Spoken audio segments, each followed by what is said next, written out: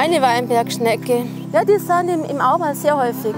Für die Natur jetzt und für den Auwald im Speziellen ist Hochwasser keine Katastrophe, sondern ein natürliches Ereignis. Der Biber ist eine Art, was im Auwald sehr nützlich ist, eigentlich überall recht nützlich ist.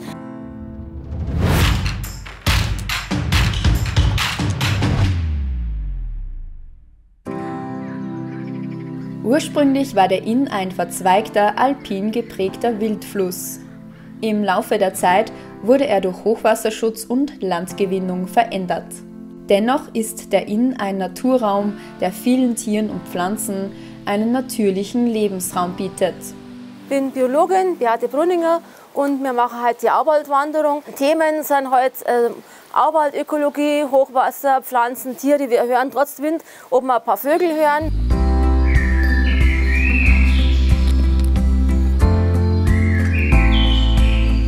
Da sind wir jetzt wegen der Säule stehen geblieben. Das ist, wie man unschwer erkennen kann, eine Hochwassersäule vom Inn. Der Inn kommt ja aus dem Gebirge, bringt die Schneeschmelze mit und ähm, die Schneeschmelze ist eigentlich im Gebirge erst so ab Juni. Ne? Deswegen haben wir da die höchsten Pegelstände. Da sieht man es 1940, 1.6.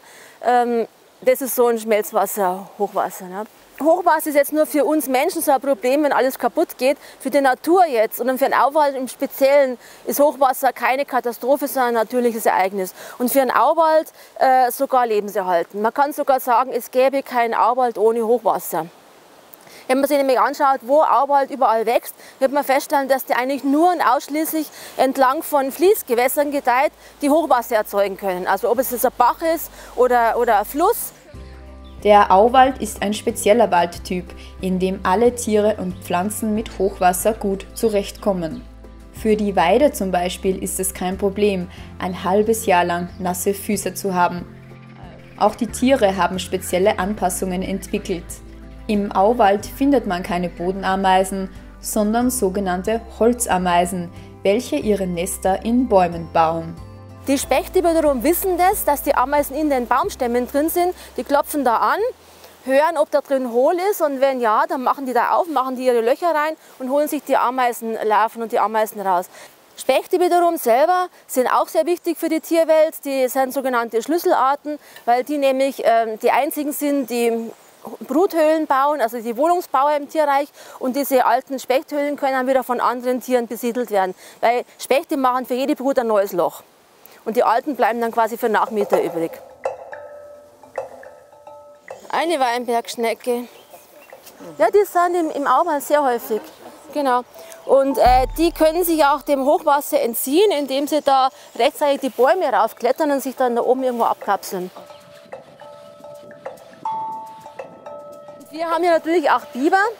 Der Biber ist eine Art, was im Auwald sehr nützlich ist, eigentlich überall recht nützlich ist. Und zwar deswegen, weil er die Artenvielfalt ganz enorm fördert. Die ganze Lebensweise vom Biber, ne, also der fällt normal einen Baum, entsteht Totholz. Totholz ist wieder wichtig für die ganze Natur, für die Insekten, die dann drin ihre Larven haben, für die Spechte, die das dann wieder fressen. Dann geht der Biber her und macht einen Damm, macht aus einem Fließgewässer, am Bach zum Beispiel, macht er ein stehendes Gewässer, weil er den aufstaut zum Beispiel. Und in einem stehenden Gewässer können ganz andere Tiere drin leben als wie in einem Fließgewässer. Ne? Da kommen dann völlig andere Libellen her, die eben Stillgewässer brauchen. Äh, völlig andere Pflanzen sind dann da.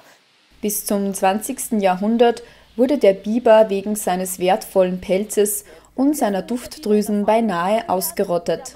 Im Naturreservat Unterer Inn finden der Biber und viele andere heimische Pflanzen- und Tierarten wieder einen natürlichen Lebensraum.